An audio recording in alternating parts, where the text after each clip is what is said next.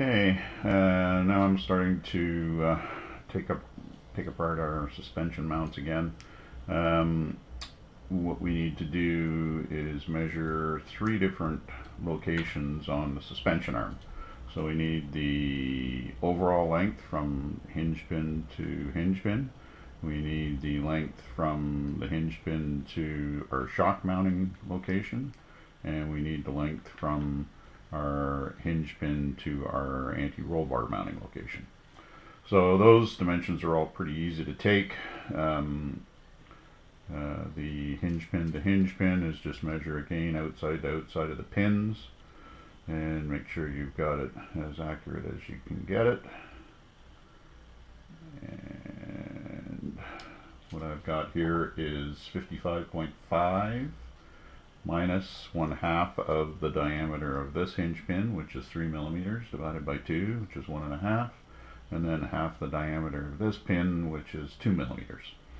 So take all that into consideration and you've got uh, uh, 50, uh, 53 millimeters from the center of this to the center of the other one. So and then similarly we can measure the location for the uh, shock. So you want to go straight so sometimes you have to measure to the outside of this, this boss here. So we just measure that dimension and we have to flip to this page.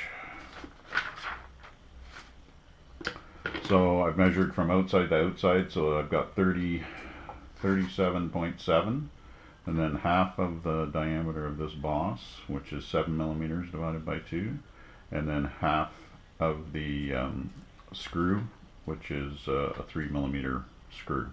So do that little calculation, that tells you where the uh, bottom of the shock mounts. Now if you have suspension arms that have multiple holes here, then you would have to either determine the distance center to center to the holes or re repeat this measurement uh, two or three times depending on how many alternate positions you've got. Uh, the anti-roll bar determined exactly the same. I don't need to show you how to do that. It's recorded at the very end here. So we've got our anti-roll bar. So from the uh, outside of this to the outside of our ball where the anti-roll bar uh, mounts is 28.7, half of this diameter again, which is 7 divided by 2, and half of the diameter of the uh, ball, which in this case is 4.24 divided by 2. So do that for the front and the rear and then you're all set. That's uh, taking care of all the measurements that you need to take off the uh, suspension arms and now we can start doing some more assembly. Okay, we're back again. Uh, as you can see we've assembled a little bit more of the chassis.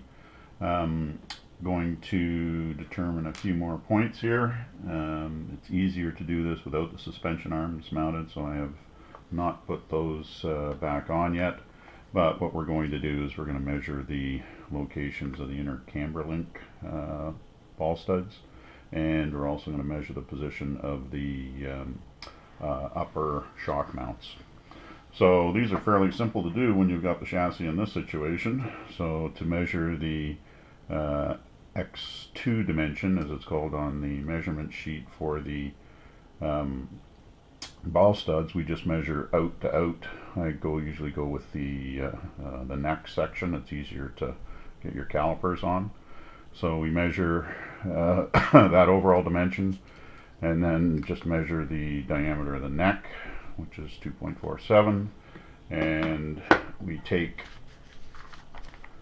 the outside dimension that we measured 4244 minus the 2.47 um, because we want uh, the dimension to the center line of the chassis, we divide all that by 2. Okay, the Y2 dimension, which is from the center of the pivot to the bottom of the chassis, is uh, also fairly easy to do. We just, maybe it's easier if I do it this way, so you can see.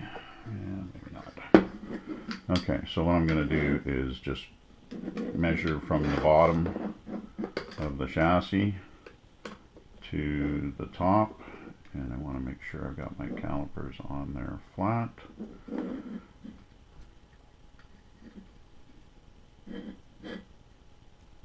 And measure to the top of the ball stud. So from the bottom of the chassis to the top of the ball stud. So that, so from the bottom of the chassis to the top of the ball stud was 4127 and then we take off our magic number that we calculated earlier for the distance from the top of the flat on the ball stud down to the center of the uh, ball stud. Okay, um, the other thing that we need to do is we need to measure the position alternate positions for the camber link. So to do that, it's fairly straightforward. We just have to uh, move the ball studs and complete the measurement that we just did for the outside the outside. The vertical will be the same. And I just put a little sketch on the on the page here so we can record what those measurements are. Now I've already done that and the distance between the holes is two millimeters. So now when we go to create the model we'll have those alternate positions that we can put in as well. Okay, so that takes care of the um, ball stud locations, inner camber link locations. So now what we need to do is measure positions of the upper mount for the shock. Again, that's fairly easy to do as well when you've got it in this condition. What I've done is I've just put a couple three millimeter screws in the in the holes. So now I can just put my calipers on there, measure outside to outside. Again, this is the X1 so it's at the narrowest point so outside to outside was 67.23 minus the diameter of the screws that I've got there which is 3 millimeters and divide that whole thing by 2 so now to get the height. I always measure down this way. You could measure try and measure in this direction but once you get out to the outer point sometimes it's hard to grab a spot on the chassis. So I always find this method works best is I just measure down from the top of the uh, screw or ball stud or whatever you have in there to to measure to down to the surface that you're working from. So that gets you the dimension to the underside of the chassis. So I always check it a few times to make sure I got a consistent reading. And there we have 44.94 minus one half of the diameter of the screw because we want the distance to the center of that screw.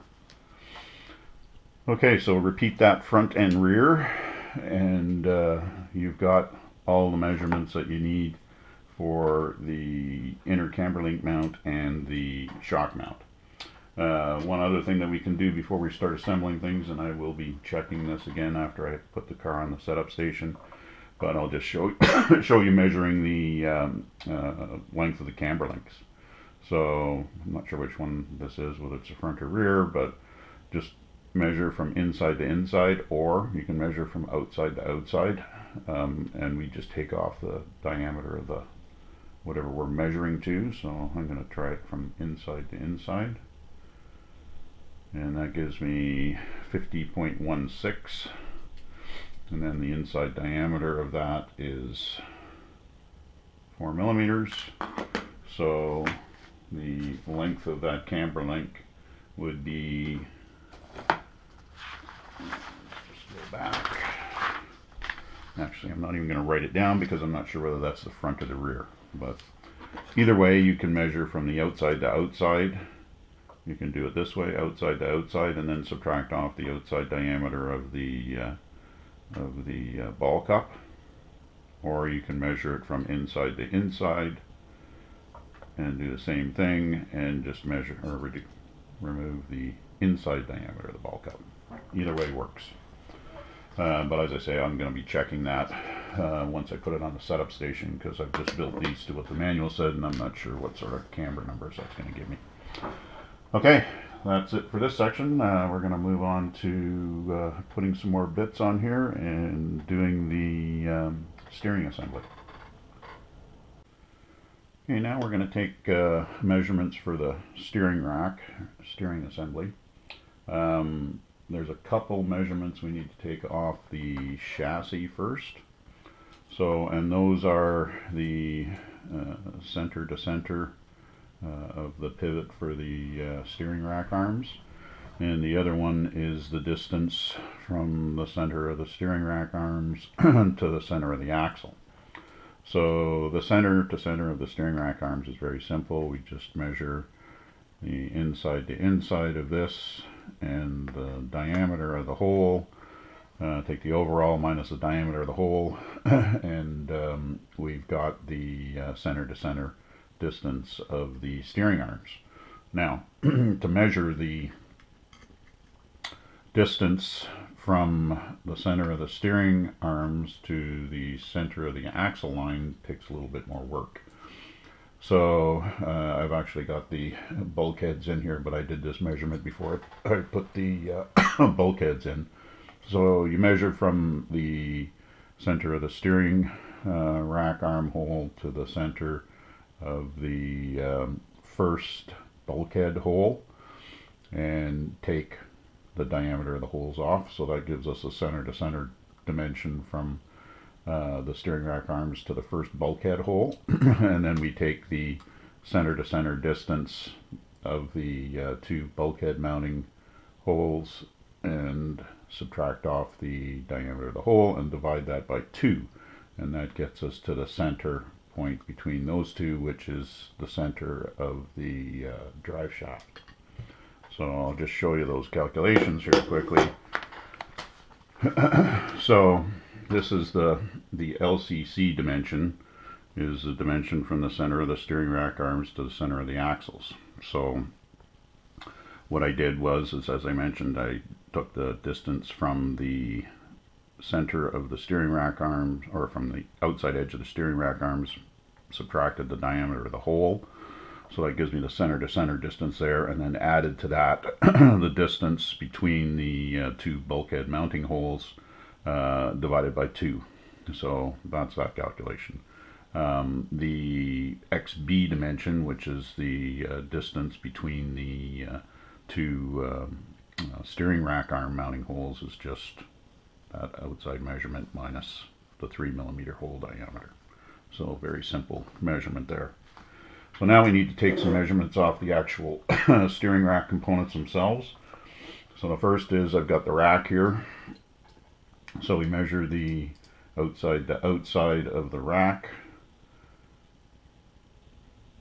And then we take off the diameter of the uh, the outside diameter here and that gives us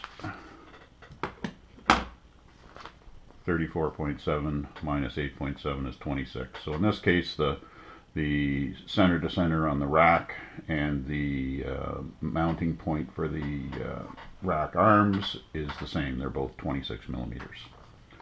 So the next thing we need is uh, the locations of these ball studs.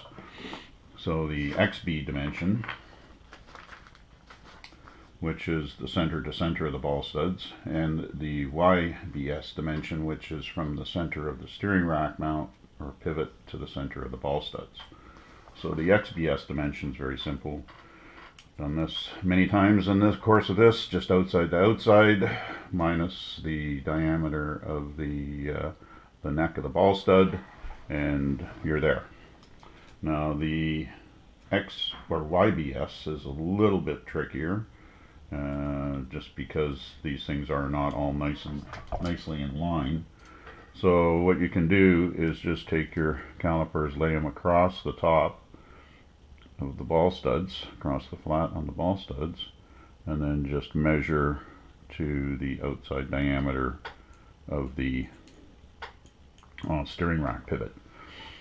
Uh, once we've done that, then we have to subtract half of the diameter of this plus our magic little number that we figured out earlier for the distance from the top of the ball stud down to the ball stud pivot. So,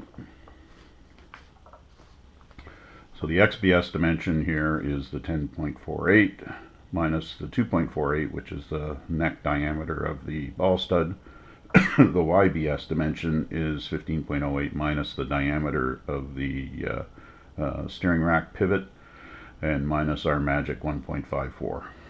So that gets you all the dimensions that you need for the steering rack. The only one we are missing is the LT, which is the tie rod. Um, and again, that dimension, same as we did before for the other tie rods, we can either measure inside to inside or outside to outside uh, to get that number. Uh, but I'm going to hold off doing that because I want to put this on the setup station before I um, determine what all those numbers actually are. Okay, that's it.